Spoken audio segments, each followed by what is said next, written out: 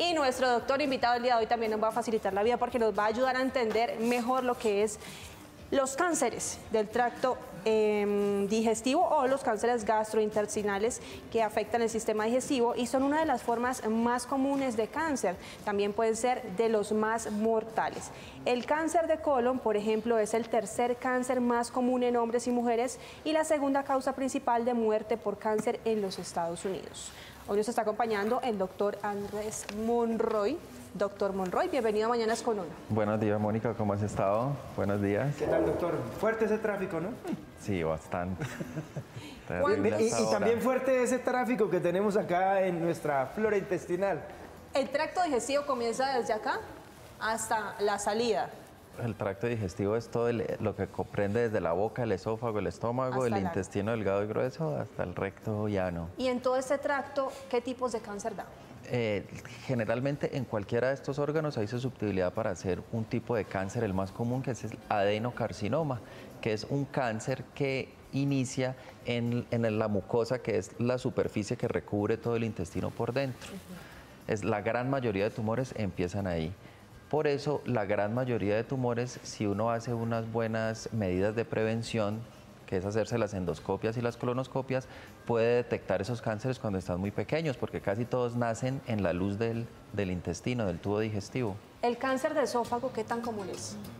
De todos esos cánceres, el cáncer de, el cáncer de colon es como el más frecuente, el cáncer de esófago no es tan frecuente, eh, pero en nuestro medio en Colombia, yo creo que el cáncer de colon y el cáncer de estómago dentro del tubo digestivo son los más frecuentes. Entonces yo desde qué edad, por ejemplo, debo empezar a, empezar a hacerme como los exámenes preventivos. Casi siempre se recomienda que si es un paciente que no tiene factores de riesgo de ningún tipo, es decir, que en la familia no hay historia de cáncer o que el paciente no tiene síntomas, la, la edad ideal para empezar a hacer los screening del colon es los 50 años. Pero lo mismo para el tracto digestivo alto. Pero si uno tiene antecedente familiar que un, hermano, un familiar en primer grado ha tenido cáncer, uno debería empezar 10 años antes a revisarse el tubo digestivo buscando que no hayan unas lesiones tempranas. ¿Y por lo general que una vez al año, Doc? En, el en esos casos.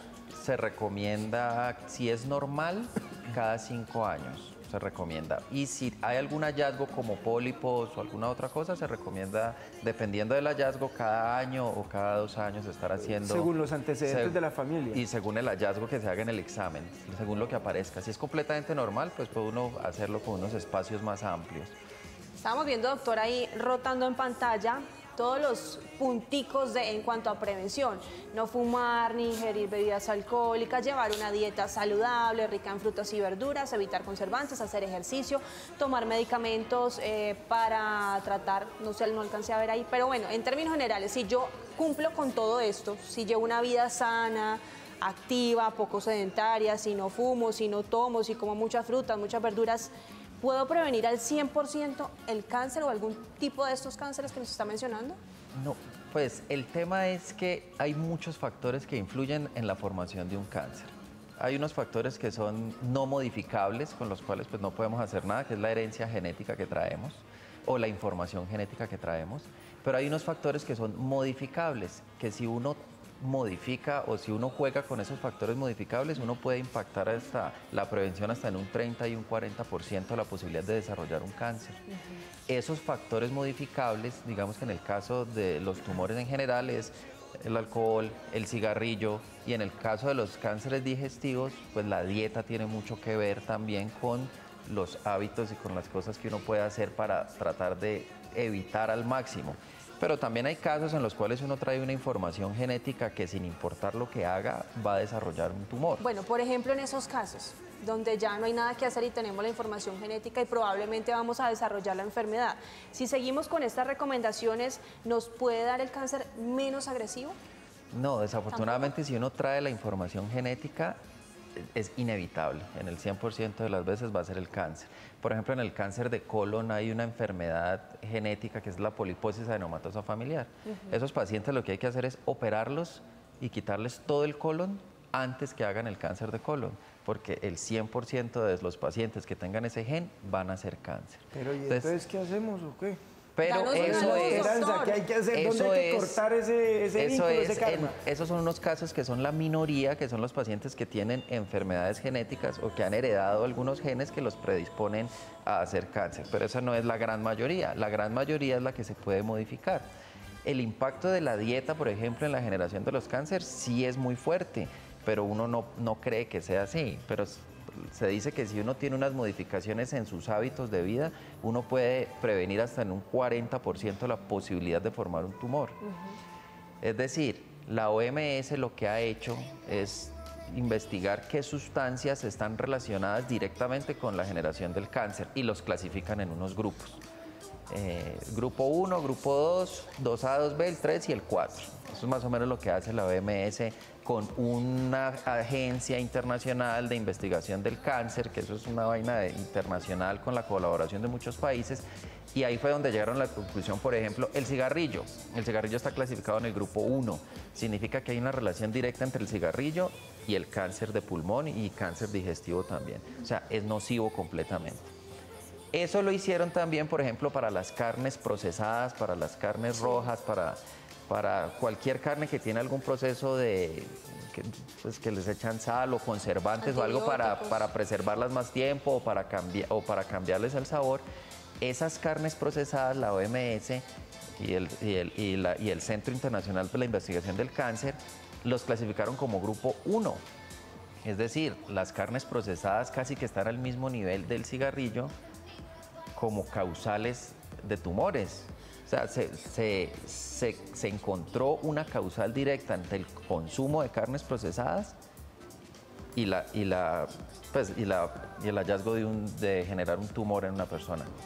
No es lo mismo para las carnes rojas. A las carnes rojas se les dio un nivel menos grave, un nivel 2A, que significa que hay evidencia, pero no es tan concluyente como para sacar esa conclusión. faltan un poquito más de estudios. Pero lo que sí está directamente relacionado es la cantidad de carne que uno consuma. Entonces lo que se recomienda es que uno debe consumir, si uno consume más de 50 gramos de carne al día, eso está en relación directa con aumentar el riesgo Y de es que carnes ¿quién rojas. come 50 gramos de carne? O sea, eso no es nada. Eso no es nada. O sea, la gente pide cuarto de libra. Y nosotros tendemos a consumir más proteínas de las que necesitamos, erróneamente, porque culturalmente así nos lo han, nos lo han enseñado. Las grasas saturadas, eh, las comidas hipercalóricas, todas esas eh, sustancias están relacionadas con aumentar el riesgo de generar algún tipo de cáncer digestivo.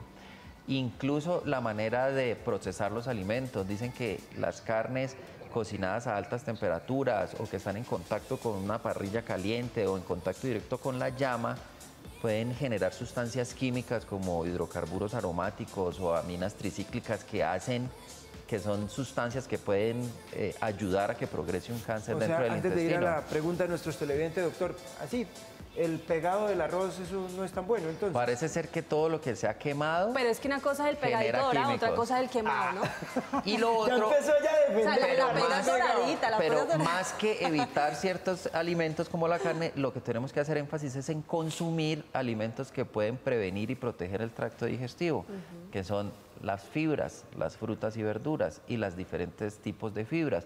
Porque los- las fibras generalmente no se digieren en el, en el intestino, sino que llegan al colon y por producto de fermentación bacteriana también generan unos metabolitos que son protectores, como los ácidos grasos de cadena corta, que son protectores para las células del colon. ¿Ve? Entonces, muchas veces el consumo de fibra tiene un efecto protector en la generación de un cáncer. Yo le La tengo una pregunta para más adelante, perdón Julito, acerca de esta moda de que aumentar el consumo de proteínas y disminuir la de los carbohidratos. Pero antes tenemos una pregunta de Sí, los la televidentes. naturaleza nos habla y uno no hace caso. ¿La comida chatarra produce cáncer digestivo? La comida chatarra tiene casi que todos los componentes que están reconocidos por la OMS como factores que pueden desarrollar el crecimiento de un tumor, que son grasas saturadas, comidas procesadas, las comidas chatarras todas están diseñadas para durar más, para almacenarse, para, para congelarse y para, pues que son las comidas eh, rápidas. Eh, Esos y colorantes que uno ve amarillo, Hipercalóricas y con gran cantidad de sal, es decir, casi que es la receta para un tumor. Obviamente eso no significa que uno nunca puede, deba eh, pues, consumir este tipo de alimentos, Yo creo que la clave está en la moderación. Tenemos otra pregunta de nuestros televidentes. ¿Las verduras evitan la aparición de este cáncer? Las verduras y las frutas que contienen fibras, fibras de, de ambos tipos, fibras solubles e, in- e insolubles, producen en- durante la fermentación del colon, producen sustancias que previenen y pueden ayudar a, a disminuir el riesgo. No es que se vaya uno a, a evitar solo comiendo frutas y verduras, nunca me va a dar un cáncer, no. Lo que uno trata de modificar es el riesgo, porque todos tenemos un riesgo basal. Por ejemplo, el riesgo de cualquier persona de tener cáncer de colon durante toda la vida es del 7% si yo fumo, por ejemplo, yo puedo aumentar ese riesgo 20 veces. Entonces, ¿para qué aumentar el riesgo innecesariamente? Y si tengo una mala alimentación, puedo arriesgar ese, puedo aumentar ese riesgo en un 20%. Por ejemplo, comiendo carnes procesadas y eso todos los días. Las verduras y las frutas que contienen fibras lo que hacen es disminuir ese riesgo. Pues no me garantizan inmunidad completa, pero sí puedo tratar de bajar ese chance de que me vaya a suceder. Siguiente pregunta. ¿Este cáncer es más común en personas mayores? Sí, el cáncer digestivo, uno de los factores de riesgo es la edad, mayores de 50 años. Es decir, a mayor edad, las células del cuerpo en sus procesos de, muerte celular y de regeneración celular, a medida que pasa el tiempo y se va envejeciendo el ADN, pues empieza la célula a cometer más errores y puede generar un cáncer. Los cánceres tienen una relación directa, la aparición del cáncer, con la edad. A mayor edad, mayor riesgo. Tenemos preguntas también en las redes sociales. Muy juiciosos los televidentes ha estado escribiendo desde muy temprano en arroba mananas con uno. Y esta es la siguiente. Aleja Guzmán pregunta, ¿es verdad que la piña es ideal para las personas que tienen cáncer digestivo? Cualquiera de las frutas y la piña que tiene un buen contenido de fibra y cualquier eh, dieta que sea alta en verduras y en hortalizas que tienen mucho contenido de fibra eh, soluble e insoluble, es beneficioso para las personas que ya están en tratamiento de cáncer o para disminuir el riesgo de formar cáncer, porque el metabolito, los met- o sea, el metabolismo digestivo de las bacterias y lo que se produce como resultado de la digestión de estos alimentos produce unas sustancias que son protectoras para las células. Entonces, sí, aunque uno ya tenga el cáncer, modificar la dieta y adquirir un hábito de vida saludable le puede ayudar a que en el tratamiento del cáncer, durante la quimioterapia o después de la cirugía, pueda tener un, un- un mejor pronóstico a largo plazo. Ahora sí, mi pregunta acerca de lo del el- el consumo alto de proteínas y el consumo bajo de, de carbohidratos, porque piensan que es que los carbohidratos van a engordar a todo el mundo, entonces están casi que eliminándolos. Y hay muchas personas que están eh, en esta tendencia de la alimentación paleo. Entonces comen mucha carne, mucho pollo, mucho pescado. Harinas creo que las eliminan al 100%. Yo me estuve viendo una serie de documentales donde desvir- desvirtúan esta serie de tipos de alimentación y poco la recomiendas. ¿Qué piensa el doctor? ¿Qué pasaría con estas personas que consumen tanta carne que en algunos casos no es como Pues tan mira, recomendada? es- eh, ahorita la, digamos que la, si uno entiende básico diciendo los carbohidratos engordan y las proteínas son buenas para coger masa muscular y si yo voy al gimnasio pues eso me, me- me conviene, pero resulta que estamos consumiendo proteínas en exceso sin necesitarlas. Y eso empezó desde la década de los 60 porque cuando empezaron a, a crecer y a tener los ganados, pues a, producir tanto ganado para vaca, empezaron a, hacerle mucha propaganda, digamos, al consumo de, ca- de- de la carne.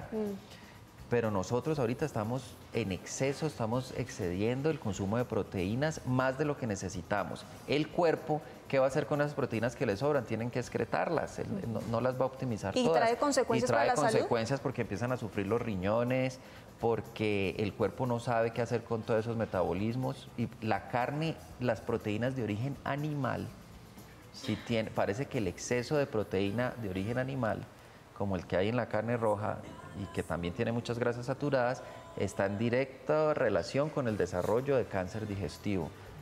La cifra que dice la OMS, o lo- a la conclusión que hayan llegado es que entre 50 y 80 gramos por encima de eso de carne aumenta el riesgo de eh, generar un cáncer digestivo. Doctor, una última pregunta acá en redes.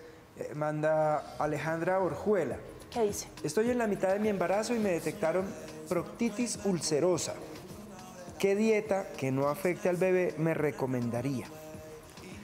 La proctitis, me imagino que se refiere a una proctitis ulcerativa, que es una enfermedad que hace parte de un grupo de enfermedades que se llama la enfermedad inflamatoria intestinal, que es una enfermedad en la cual el intestino reacciona exageradamente ante las noxas externas, o sea, la comida, y se defiende exageradamente hasta el punto de que se ataca a él mismo. Esos pacientes tienen, eh, son muy sensibles a las proteínas animales, a las proteínas animales incluidas la lactosa, o sea, las proteínas de la leche. Y lo que se recomienda para este tipo de, de patología es una dieta más natural, más de micronutrientes, más de frutas, vegetales, hortalizas. Granos. Y si se descuida con esto, ella, por ejemplo, eso podría convertirse lastimosamente en un cáncer. Esta enfermedad, si esto es una, si es una, una colitis ulcerativa, que me imagino que es porque dice ulcerosa, eh, sí tiene un riesgo, aumenta el riesgo de desarrollar un cáncer después de 10 años de tener la enfermedad. Entonces, los pacientes que tenemos con colitis ulcerativa entran a unos tratamientos para tratar de desinflamar el colon, eh, si es esa la enfermedad. Y, esos, y hay que hacer unos controles anuales para ver si la enfermedad está controlada. Y después de 10 años, el riesgo de cáncer empieza a aumentar. Entonces, toca estar controlando con colonoscopia, buscando lesiones pequeñas o lesiones sospechosas. Bien. Doctor, pues aquí quedan más preguntas de Olga Lucía, otra de Alejandra, bueno, Beto Cano, que lastimosamente no alcanzamos a contestar, pero les invitamos a que contesten por redes sociales. ¿Dónde pueden eh, Claro, pueden, escribirnos a, a www.consultamederi.com. Eh, la recomendación general es el equilibrio, es evitar los excesos y tratar de tener una alimentación variada en colores. Tratar de comer de, de- todas las variedades de colores en las verduras para poder tener todas las vitaminas, todos los minerales y poder tener ese equilibrio. Disminuir el consumo de proteína animal. No estamos diciendo que no hay que volver a consumir eso para nada. Yo le he bajado. Disminuir el consumo de sal. Y lo de los colores no aplica para los helados el fin de semana, ¿cierto? Las Podría chispitas de chocolate de color. Y disminuir el consumo de alimentos hipercalóricos. Ajá. Bajito en Muy sal y bajito en cosas ahumadas, bajito en carnes procesadas cáncer, ¿no? y bajito en azúcares refinados. O sea, un chicharroncito nomás.